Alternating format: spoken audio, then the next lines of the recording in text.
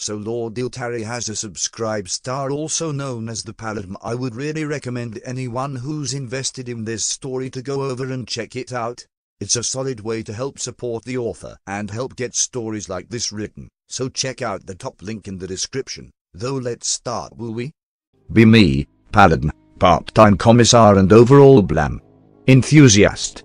Be the paladins of order undivided, Robu Juliman, Kazdor the salamander, Senkit never chosen, Peregrinius, of Raindry, and the Eort emperor of absolutely nothing. Or Julian, Kaz, Sen, Peregrine, Undri, and the Eort if you aren't wasting more time than I would like to admit making Warhammer puns with their names. Having just defeated an incursion of gnolls via sheer stubborn refusal to die and a small army of orcs via cardiac digest, the paladins lead their silver-crowned kobold charges out of the cathedral to Bahamut and quickly move them along the streets towards the elven glade and relative safety. As they approach though, one last foe is determined to not let them get out of the city that easily. The Shuozva, having just barely escaped the battle in the tunnels with a few scattered remnants of his forces, stalks the streets. And the movement of nearly a hundred kobolds is not an easy thing to hide. The paladins hear the howls of the survivors of the Gnoll band, and alternately curse and groan. How many mangy savages do we have to kill before they get the point? Julian shouts in frustration, before realizing that shouting is a great way to give away one's position, and facepalming, a few more it seems. Undri says, putting her ear to the ground. Sounds about a score and a half, not many but enough to cause serious casualties. Right. Double time we lads. Kazdor bellows at the kobolds. Run for it and we'll draw 'em off, you like, ye ken the way to the glade, we'll meet ye there. After the last battle, the paladins are not exactly in the best shape to take on another small army, especially one led by a powerful demon, so they break off from the main column of kobolds and start running. As expected, the Shuozva pursues. The paladins sigh in relief as they realize that they've drawn all the gnolls' attention away from the kobolds, then worry substantially more when they realize they've drawn all the gnolls' attention. Then they run faster. Kazdor picks up Peregrine with one hand to make sure the short-legged swordsman can keep up. Day we have a plan? He asks Julian as they whip around another corner, the Shuozva gaining. No. I thought we'd killed enough of them that we'd at least have a day before they started hunting us down again. Apparently, we've rather annoyed them. The scholarly Arsima says, laughing slightly. If it wasn't nearly getting us killed, I'd find it pretty funny actually. Well come up with one fast, I used most of my spells back in the fight with the orcs. And I don't fancy facing down the demon back there without magic. Senkit says as she leaps over an overturned wagon, hopping off it and into the lead. Apparently the goat hoof isn't just for show. They are merely gnolls. Let us turn and incinerate them, then feast upon their roasted hearts. Kazdor's wings suggest, not helpfully. Julian, ah, I'm gonna have to ask ye to eat any more hearts, it's divine the bloody wings ideas. They talk? Never mind. Do they know how we can loose these things, because the Shuozva is getting closer. Julian asks, and he hears a female voice answer him. Not quite the position I foresaw you seeking me out in, but fate works in amusing ways. The voice speaks in his mind, much like Bast does. The voice is regal, haughty, and quite familiar. Follow my cat. It advises, before Bast manifests herself and starts running ahead of the pack. Follow that cat. Julian orders the rest of the party, earning more than a couple confused looks. Trust me, I sometimes know what I'm doing. He shouts again as he ducks under a stab from the Shuozva, who has gotten uncomfortably close with that tail of its. He reaches into his pouch as they keep running and pulls out his glasses, then one of the scrolls he borrowed from the library. Not much but it'll do, thunderclap. He shouts, throwing the scroll backwards as it explodes and flings the demon back, ears ringing. The party takes the chance they've been given and follows the cat, dashing down ruined street past derelict avenue until the cat dodges in the back door of one of the few houses still standing. The Shuozva sees them enter and howls in dismay as it recognizes the house, one where chaos dares not to tread. A house that smells of brimstone. The party catches their breath once they slam the door shut behind them, fully expecting the demon to try and break it down at any moment, but no attack comes. After a minute of tense waiting, they realize that the gnolls aren't trying to break in. Odd. Very odd. They stop and take a look around the room they've ducked into. It is still in remarkably good condition, albeit extremely dusty. It is made of good, solid dark oaken walls. It has no windows, but is instead lit by a series of floating lights in an arrangement that is reminiscent of a chandelier. There is one door on the far side of the room, and a large wardrobe and hat rack. It appears they've entered the coat room. Magic. Kazdor grumbles. Your cat led us to a magic house. She is a creature of magic, she must have sensed it was warded somehow. That must be why the demons aren't breaking in. Julian says as he picks up his cat and places her on his shoulder. The black stripped tabby looks around with its wide red eyes. Let's just hope the owner is already dead and not moving anymore to boot. Senkit grumbles. I just got this shield. Alternatively, he's alive and we could not kill him like a bunch of murderous vagrants. Julian counters. It would be nice to find someone taller than four feet who doesn't want us dead. We kind of are a bunch of murderous vagrants, we are adventurers after all. Peregrine jokes as he checks the door. Not finding any obvious traps, he opens it and looks past. The door leads into a shadowy foyer, with a large fireplace in the center that still burns, with a strange smell that everyone knows they should know but also can't quite place. There is a large double front door that serves as the main entrance, two sets of stairs leading up to a balcony that overhangs the back of the room above the fireplace, and a large rug leading from the door to the fireplace, which has nine chairs sat around it. Whoever owns or owned this place, they certainly enjoyed having company over. Peregrine says amicably as he steps out. Once he enters the room, another chandelier of floating lights beams into existence above him, lighting the room substantially more, but still nobody comes. The rest of the party follows, save Kaz, who stops to check the wardrobe for spare coins. He doesn't find any coins, but he does find a note with a number on it, 1469. He pockets it for later. You never know what you might need in a wizard's house. As the party explores the foyer, Julian finds his gaze drawn to something hanging above the fireplace mantel. It is a most unusual and magnificent clock, formed of nine concentric circles that rotate to show the current second, minute, hour, day, month, season, year, zodiac, birthstone, and whatever plane is closest to the material at the moment. For those of you wondering, it is 10.57 and 6 seconds on tired as the 28th of January, in the season of winter everywhere else in the world anyways, in the year 1682. The current sign is the barbarian, the birthstone is Amorite, and the nearest plane is Arcadia. Julian is fascinated by the device, and, not wanting to let it go to waste, attempts to remove it from the wall, only to find that it is in fact fixed to the wall.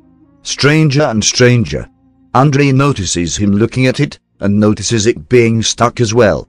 Her suspicions begin to grow as she investigates the fireplace, then the chairs. There's definitely something hidden here, she says. Makes sense, if they were a magic user they probably hid their laboratory. Julian responds. If I had to throw out a guess this clock has something to do with it. Maybe if we activated a chronal spell near it? Wait, did you say chronal, as in time magic? You're kidding, right?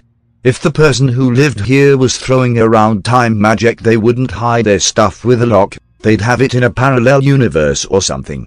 Andre responds. Good point. Maybe it's a combination then? Say laddie, how far back does the earring go? Kazdor asks. Julian tries it by spinning the wheel backwards. Despite going around multiple times, it keeps going further back, all the way to the year 1. Try 1469. He suggests, showing the paper he found.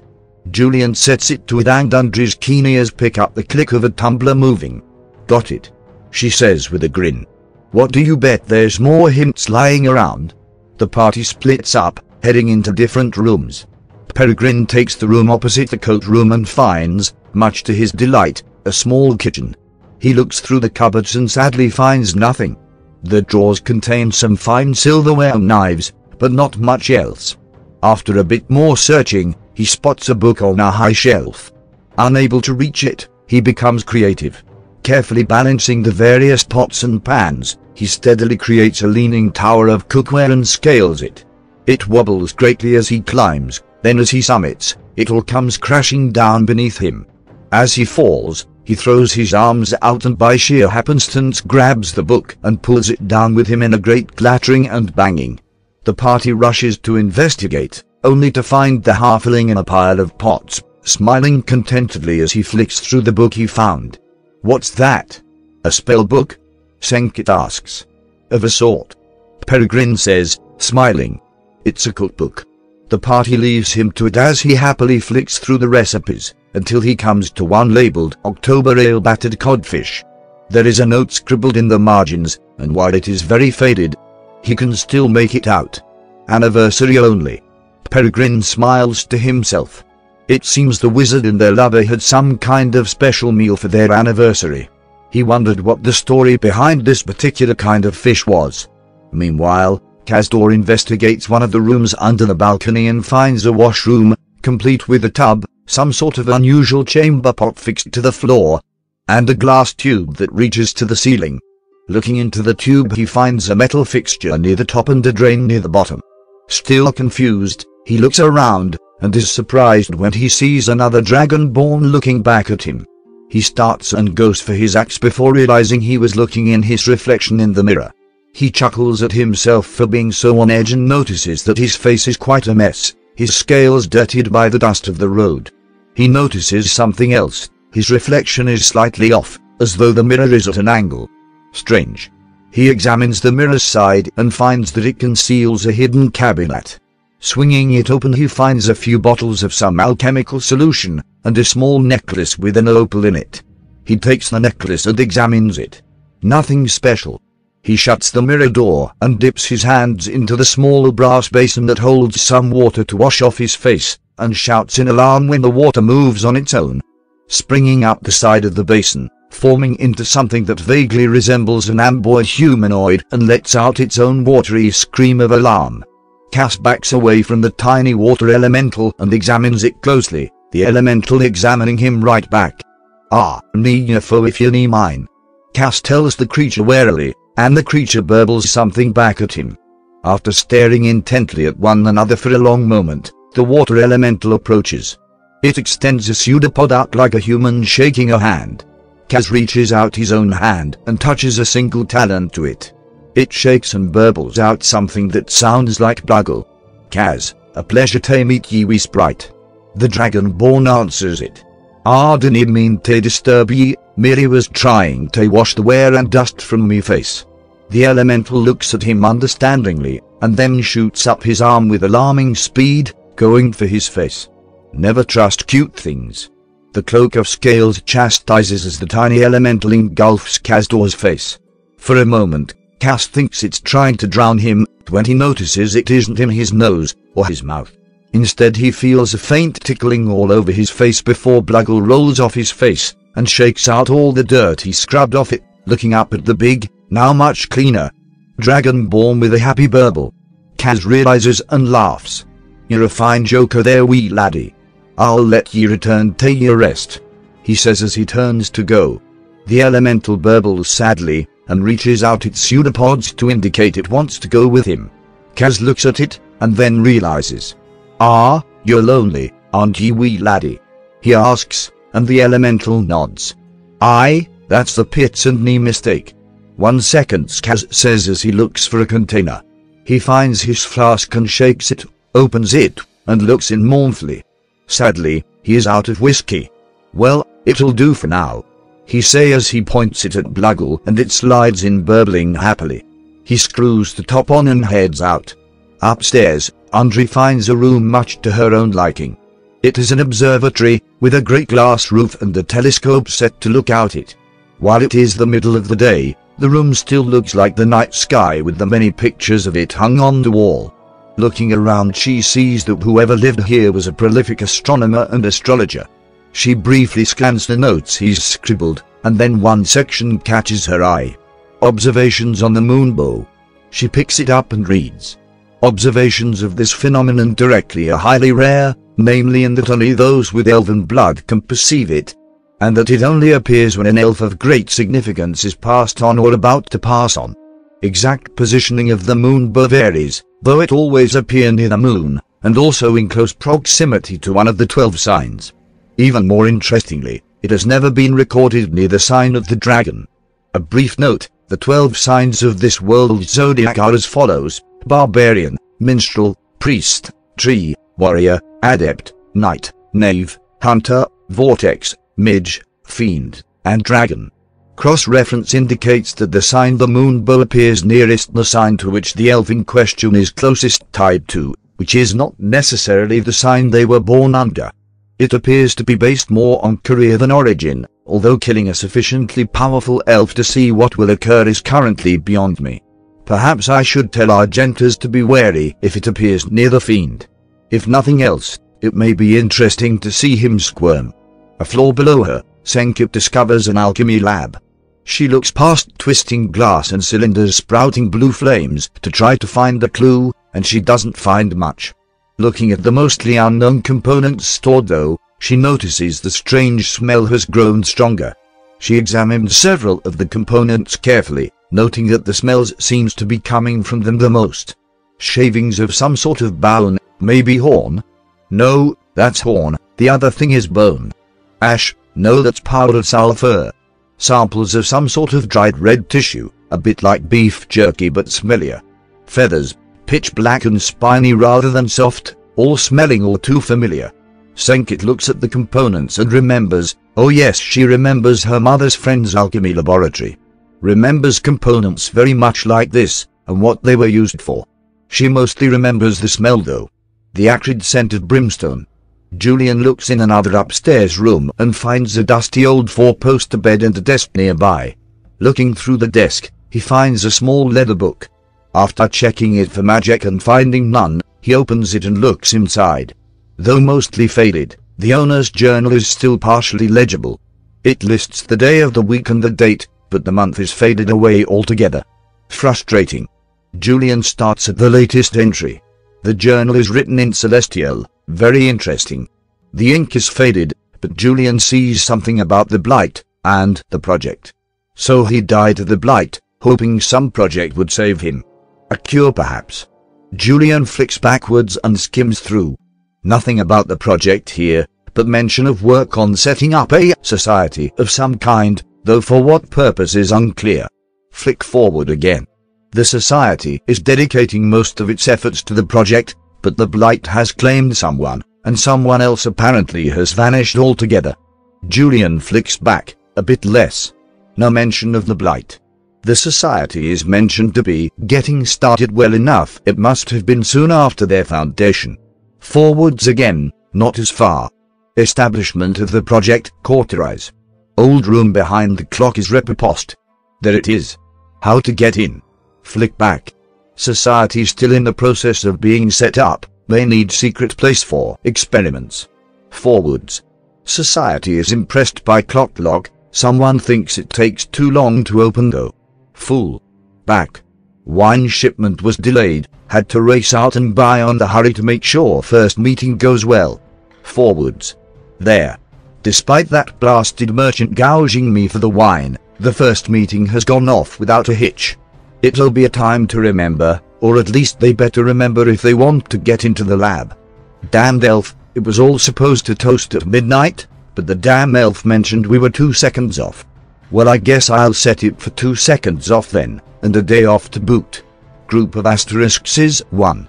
Just short the month, damn. Julian curses, and leaves the room.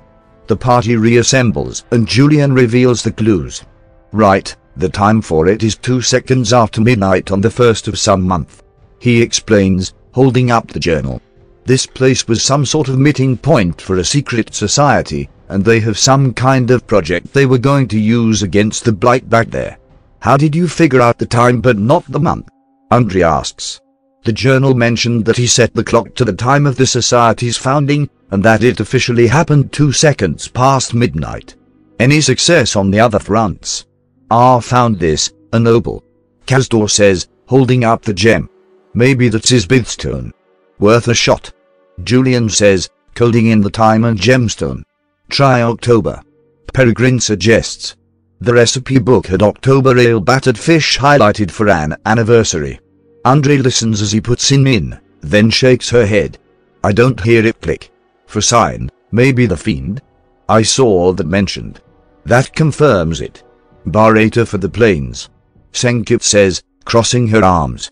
I'm growing increasingly certain that we've found a cult and there's going to be some kind of devil or pentagram or blood orgy pit on the other side of that door. Speaking from experience. Julian japes as he aligns the clock. And this would be autumn. Here we go. Yes. Senkit says plainly as she gets out her weapons and readies herself for a fight. Nothing happens. Wait, first of the month. It's November.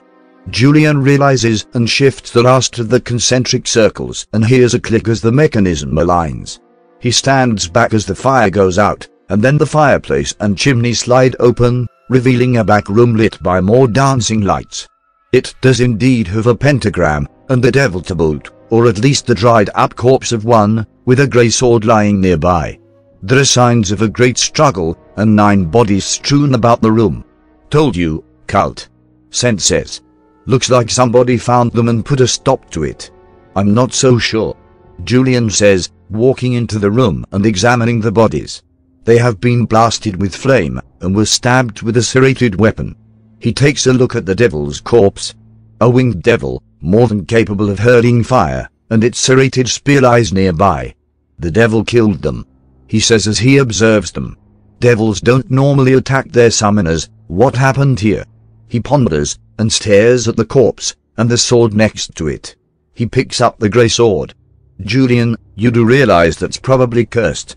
I mean it's a sword surrounded by dead cultists and a devil's corpse. Sen advises. Exactly, it's a devil's corpse. They don't normally leave those except on Bar Barata. It's dead. Permanently.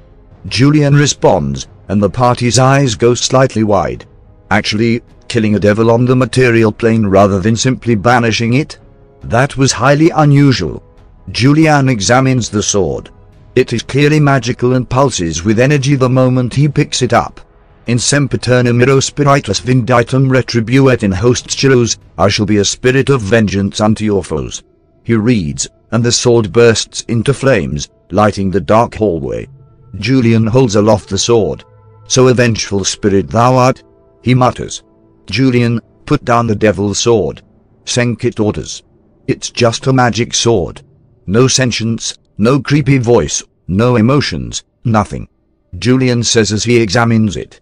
And if I had to guess, this is what brought down that devil. He says, looking to the devil's corpse. It is indeed scored by cuts from a particularly large sword. Perhaps this is the project they were talking about. Hey, does anyone else smell smoke? Andre asks sniffing the air again. I am holding a flaming sword. Julian chuckles, snuffing out the flames with a flick of his mind. He notes something unusual, faintly glowing runes that fade before he has a chance to read them. Interesting, there's more to the invocation. Perhaps the weapon is still incomplete. The smoke smell is rising fast now, and everyone can smell it, although Julian is too focused on muttering about the composition of his sword to notice.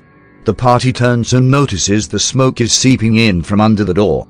Outside, the Shuozva paces back and forth in front of the fires its minions have set around the house. It may not burn, and they may not enter, but they can smoke the paladins out. The demon paces nervously, snarling as it prays, as much as a demon can anyways, that they have not found the bane yet. Even if it is though. Well, you have expendable minions for a reason.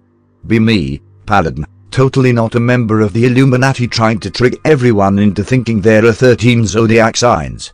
Be the paladins of the Order Undivided, Castor, Julian, Iort, Andre, Peregrine, and Senkit, all currently starting to resemble the meat fresh out of a smoker at a good barbecue place. I wonder if gnolls like their barbecue sauce spicy or savory. In either case, they apparently prefer their paladins smoked as they surround the house the paladins are standing in with piles of burning lumber. The house itself isn't catching fire, because fire proofing is kind of a necessity when you're summoning devils in the basement but the smoke is starting to get in. Andre covers her mouth and nose with a wet rag and the others do the same, getting low as the smoke progressively builds around them. Then he will into fight us inside, so the schooners are smoking us out. Kazdor curses through the rag. That's a good point, Kaz. Julian says as he realizes an idea, and rises, dropping his rag, taking the flaming sword in both hands and smashing a hole in the side of the wall, which smoke begins to escape out of. They won't come in, so let's make some ventilation. Kaz, Sen, give me a hand. The two realize what his point is and go to work punching a series of holes, each about the size of a human head, into the walls. The smoke begins to escape, but it's still coming in faster than it gets out. That bought us some time, but what now? Andre asks. There's still a small horde of gnolls plus a demon outside and we have to go out and through them to get back to the kobolds. Wait a minute. We do have to get rid of them, but what if we didn't go outside?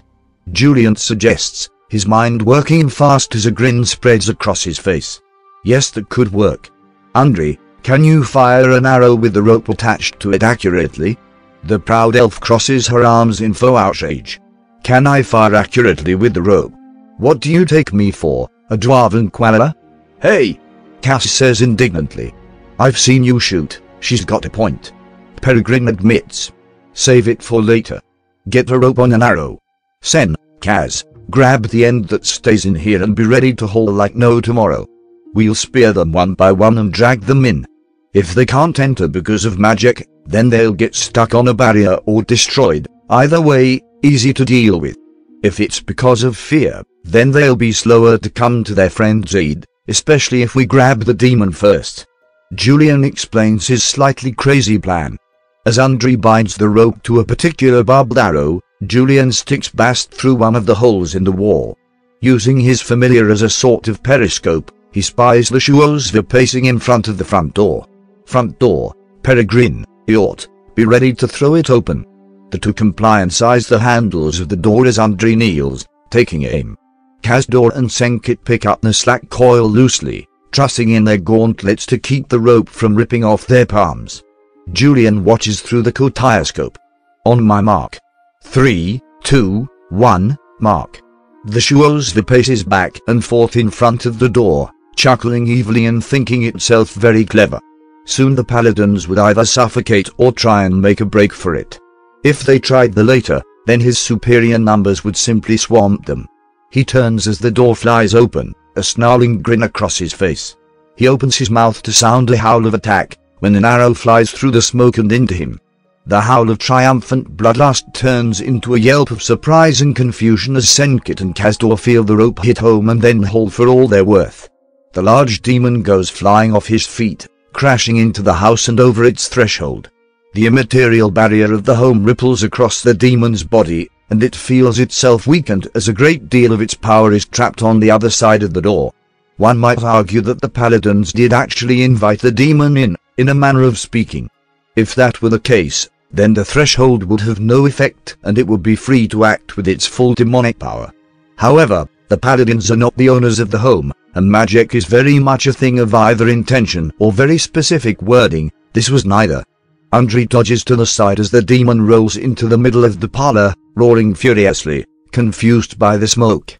No amount of smoke can make an eight-foot-tall dragon-born stealthy though. The demon lashes out with its tail, Kazdor raises his section of rope and catches the stinger in it, smiling for a moment before the demon pounces on him, going for his throat. Peregrine and the Ort on the other hand are experienced in the fine arts of sticking knives, or spears as the case may be, in backs, and pounce in turn, laying into the beast's hindquarters and hamstrings. Kazdor shifts his head to the side to dodge a descending hoof as Senkit steps up to plate and bashes the demon off of him.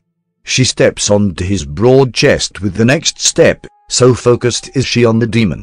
Hooves were not meant to be on breastplates, and she slips, falling face first on top of Kaz. Save it for the bedroom. Julian comments as he steps out of the smog brandishing his new sword. The demon glares at the hellfire with a loathing that mortals cannot even comprehend, so dazzled by the hated flame that it doesn't notice the small cat lunging out to strike its eye. The demon flinches as it turns to focus on Bast for a split second. A fatal mistake, as Julian brings his mailed boot down lunging low as he sweeps Vengeful Spirit in an anti-clockwise arc, 270 degrees outlined in flame. The tip scrapping along the hardwood floor.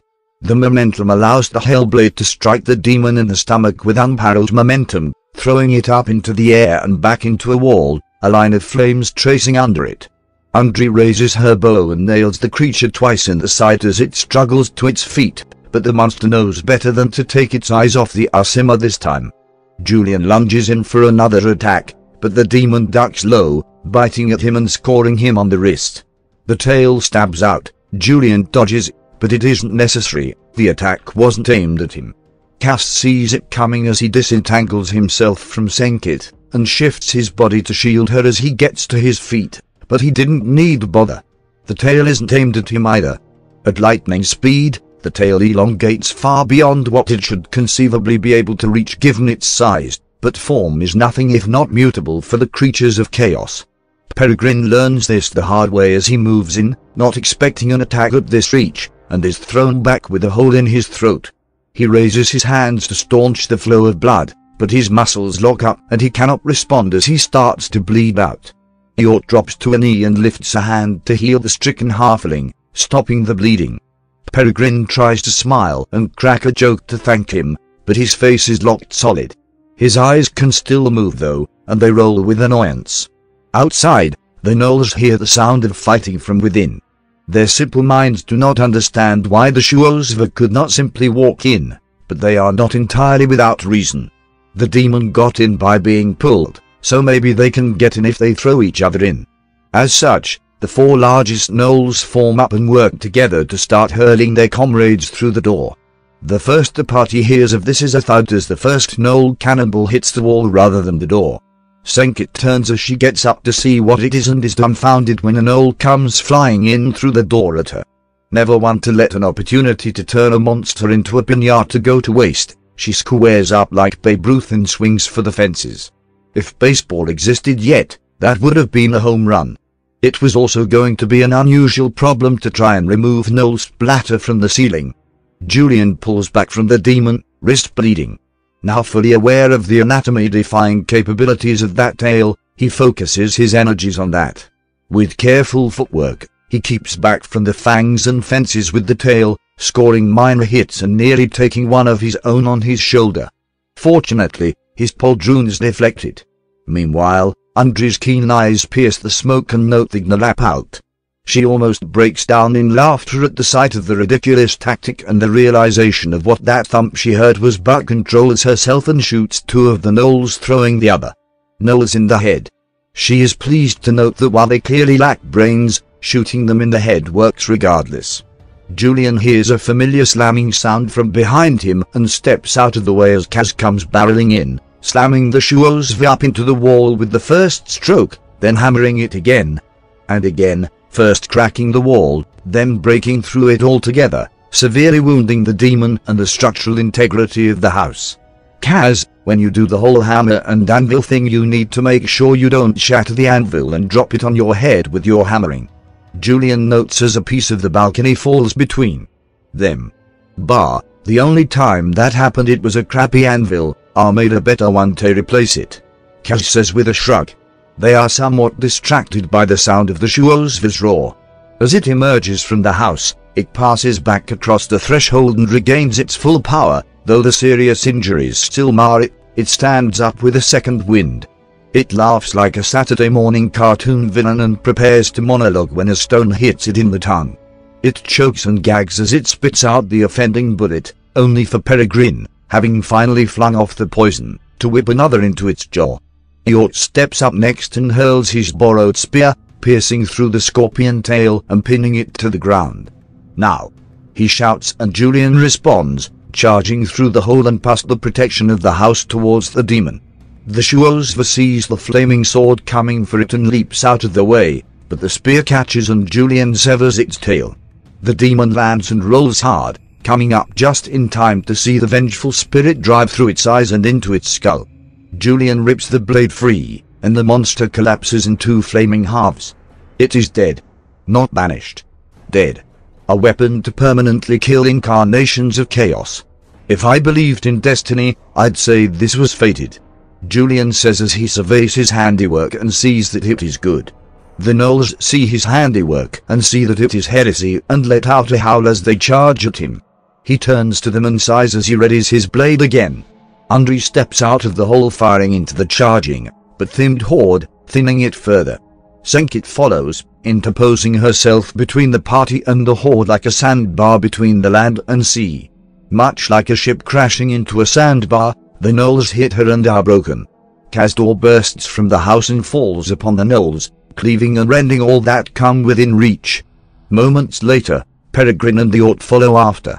With the death of their leader and the decimation of their forces, the gnolls turn tail and flee, tails between their legs. You'd think they'd learn. Peregrine says as he cleans his blades. I mean we've killed how many people at this point? Even animals figure out how to avoid things that kill them. Gnolls are inferior even to animals. Undri says contemptuously. Even orcs have some shred of cunning to them. Gnolls are simply devoid of anything except a hunger for destruction. I've met smarter demons. The brain is the most energy-intensive part of any organism, except in gnolls. I do wonder why they have such unusual metabolisms. It's not like more demons where they're literally just mouths into another stomach, at least I don't think so.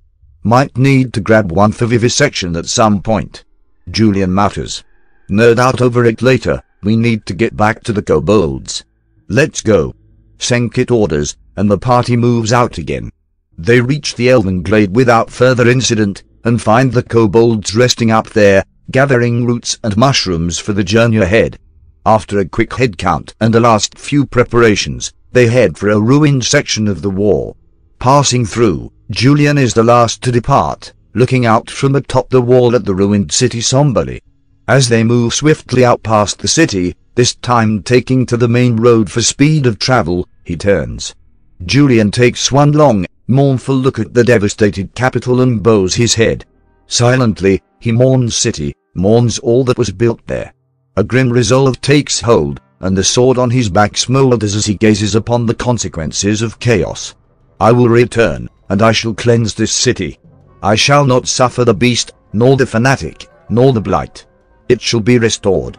With great stones I shall clad her walls, and with the mightiest defences she shall be protected. She shall have such craftsmanship, magic, and technology that no city can match her in glory.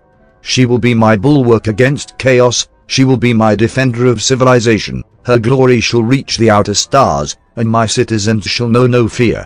Thus swore Julian, war master of order, for by this name and by this oath he shall be remembered. Whether his tale will yet become a tragedy or a triumph is yet to be determined. Though as the bards say, the truest tales are both, seem different to each one who watches. The flames of ambition warm all. Some by the light in the hearth to nourish and soothe, some as the logs on the pyre. Julian and his spirit burn brightly indeed. Be me, Paladin, granter of titles. Be not me, Kazdor Glamdring, Julian Tirahan, Iort, Peregrine Horsey Rider, Undri Silverthorn, and Senkit Zarathustra, the Paladins of Order Undivided. The party travels south down the old road for the last few hours of sunlight they have left, and then on for another four hours as their kobold wards are perfectly comfortable moving in the dark, even more so than in the sunlight. Ultimately though they do decide to stop and rest when they find a large cave. It is currently empty, the inhabitants having fled away at the approach of so many footsteps. The kobolds set up some basic defenses and set watches, allowing the whole party to get a full night's rest. As Julian sleeps, he dreams once again of the ruined city, or at least her Enshaden counterpart. The starless sky and blight tendrils everywhere tell him he's seeing the Shadowfell, and he looks about, wary of the Night Walker. No beast here, boy. A female voice informs him, the same one he heard in his dreams calling him to the city. Though you did see it, didn't you? Quite an impressive monstrosity. Who are you? Julian demands to know. An interested party. I see you found the sword I left for you. Is it to your liking? I had a feeling that was your doing. That at least narrows down the candidates for disrupting my sleep. Julian responds. Clever boy, I don't think I'll be giving you my name, you'll figure it out for yourself in time. The woman's voice chuckles. I heard your oath, yet you're running away. Did the close calls you found yourself in scare you off? Me trying to single-handedly take over the entire city at this point would be foolish, impulsive, and ultimately of no value whatsoever. The logistics just aren't in my favor. He says, and smiles as he senses a second presence chuckle in approval. Come out then, I had wondered when you'd stop using my mother's soul as a mouthpiece. Amusing. You are clever, and if I were to speak with you I might try that, but I'm afraid Baineth's soul isn't in my jurisdiction. The second voice speaks, low and rumbling, like a wall of adamantine if it could speak. Although I'm not one to poach from my superiors, I must admit you're sensible. Superiors? What the Julian says confused as he hears the woman's voice begin to laugh long and hard. She sounds a great deal like Senkit. Oh dear boy, you finding out will be so very delightful. Well done in my little test, enjoy the sword. The woman laughs and Julian stirs awake to see Bast staring at him. Well that rules out Mephistopheles. I'm a bit disappointed. Julian mutters as he gets up, petting his cat and feeding her a bit of jerky. The logistics comment brought someone out, but who exactly? He ponders before looking around. Kazdor and Peregrine have already gotten up and set up breakfast, surrounded by softly snoring kobolds. He gets up and walks over. It's past dawn and you didn't get me up. I take it we're waiting until tonight to move out because of our companions. He asks as he stretches awake. I, Iort, and Undri set out ahead to scout the road about an hour ago. Kazdor responds before offering Julian a bowl of porridge and some light beer to wash it down. The Aasimar takes it gratefully. Where's Sen? He asks as he eats his porridge. Near the entrance, keep him watch.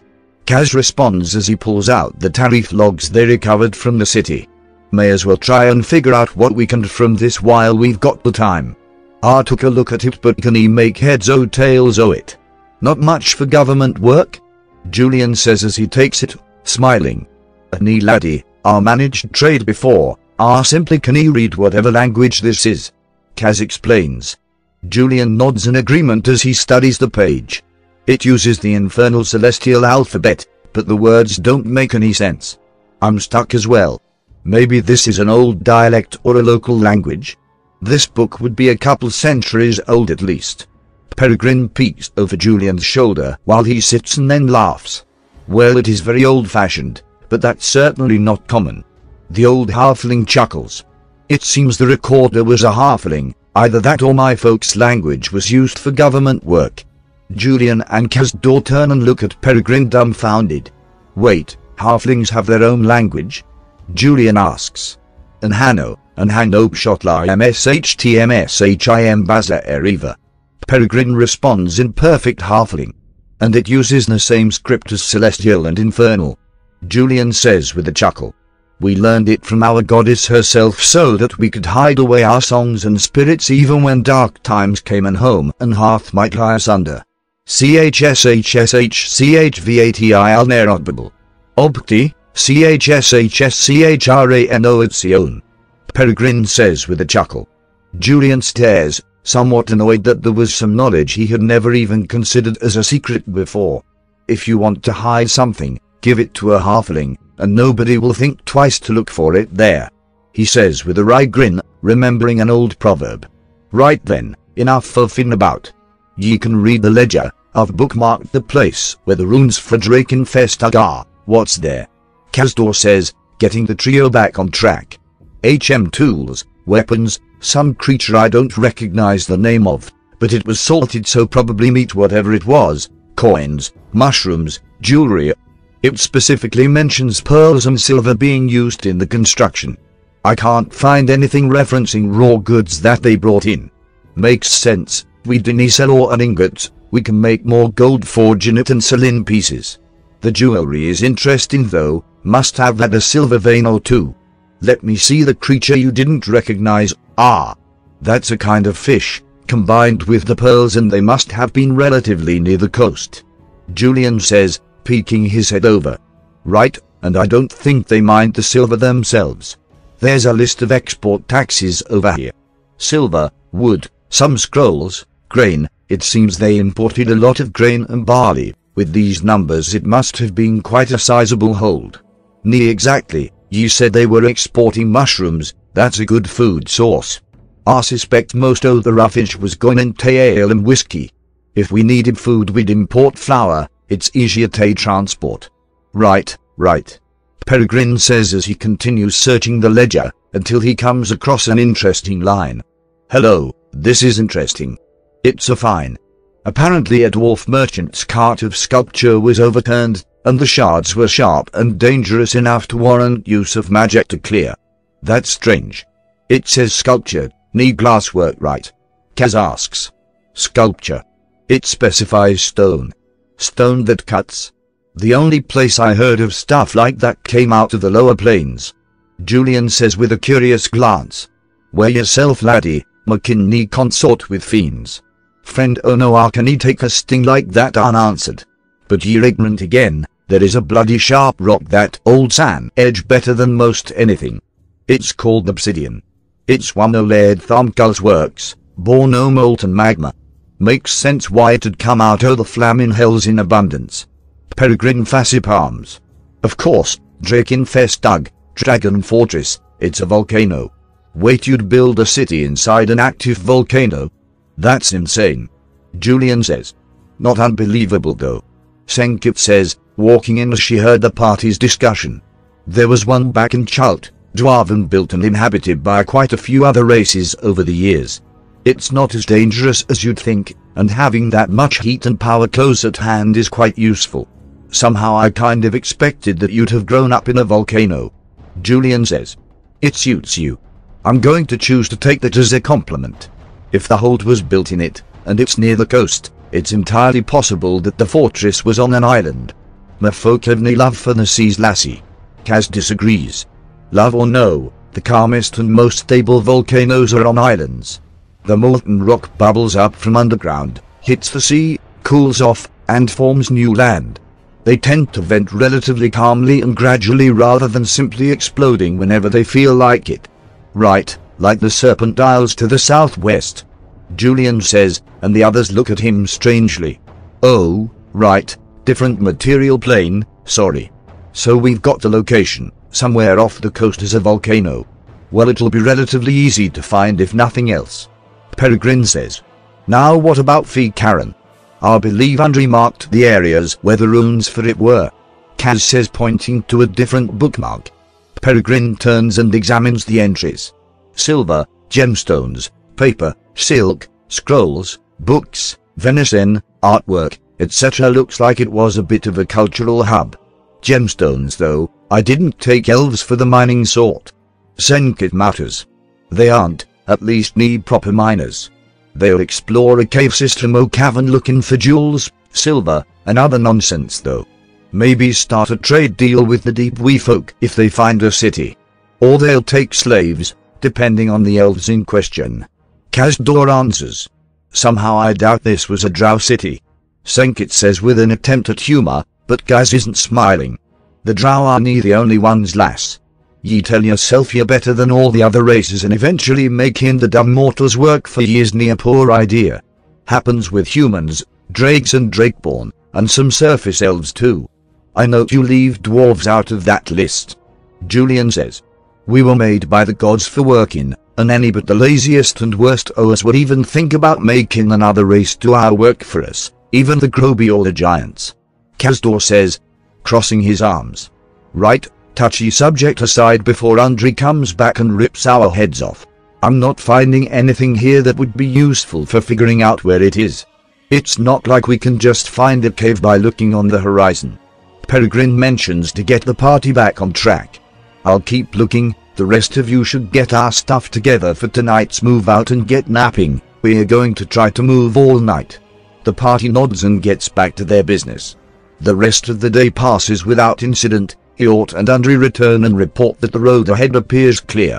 Night falls, and the party moves out. To save a goodly deal of time, the return trip from San Jonas to Hiort's Bridge is remarkably peaceful, perhaps due to good fortune, perhaps due to divine protection, perhaps due to the large number of kobolds and fearsome reputation of the paladins, or perhaps due to six consecutive rolls of less than 40 on the random encounter table. This does not mean that their movements are unnoticed, nor that their enemies do not see them, though their observer remains hidden, even as they come and go again and again, reporting and tracking. and calling allies for preparation. That night, as the party rests on the other side of the bridge, they relax. At long last, they're back in friendly territory. In less than a week, they'll be in the Abbey again, with their new allies brought into the fold. Tonight though, the kobolds have a slightly different idea. Now that they are finally in safe territory and believe themselves safe, the kobolds celebrate. The supplies once so tightly rationed are now relaxed and all eat their fill, their fires blaze brightly in the night. The small lizards sing, and several produce instruments. Drums beat and even a kalimba can be heard as the kobolds celebrate their peaceful journey. In the midst of the festivities, the matriarch and several other older and more well-respected kobolds draw Senkit aside. The songs cease, and the whole group turns towards them. Long ago, we the Silver Crowns were the servant of a mighty dragoness. The matriarch begins. She was our great protector, and perished fighting against the Blight. She sacrificed herself that we might live on. For over a hundred years I have led my tribe since. For one hundred years of prayer to the great dragon that he might bring my lady back, or somehow send another to lead us from the city of Blight and protect us again. Lady Senkit, you and your companions have been the answer to our prayers, but I have heard and seen what you did for us in the tunnels that were our den. You gave of yourself to us, even to the point of your life. For that, there is only one honor we can bestow upon you. The matriarch bows before Senkit, and all the kobolds follow. The great dragon said to me that a dragoness would come again and lead us to a place of freedom. In my ignorance I did not believe when you came to us. But now my eyes are opened, and I see you, though not in appearance, have that same soul that my lady had all those years ago. You are our brimstone dragoness, and we are your servants. Senkit is dumbstruck, as are the watchers. One is amazed, the other's enraged. The party looks on in astonishment, as Senkit leans down and lifts the matriarch's face up. I am unworthy to be called such a thing. Senkit says sadly, and unworthy to be bowed before. Arise, perhaps you saw something, but I am just another devil. My soul is irrevocably bound to the hells, and I shall never enter into the heavens worthy of a heroine such as your dragoness. Do not entrust yourselves to me, and most certainly do not bow to me. She warns them as they get to their feet, looking at her confused. Senkit, shut up. Julian says, walking forwards. I don't give a damn where your soul is going or what nonsense the gods decide to play with it. So hear me and know this, you are a hero. You have done more for these people than every holier than thou angel or supposedly all righteous deity out there. To the hells with the gods, to the hells with souls, and to the hells ten times damned with damnation.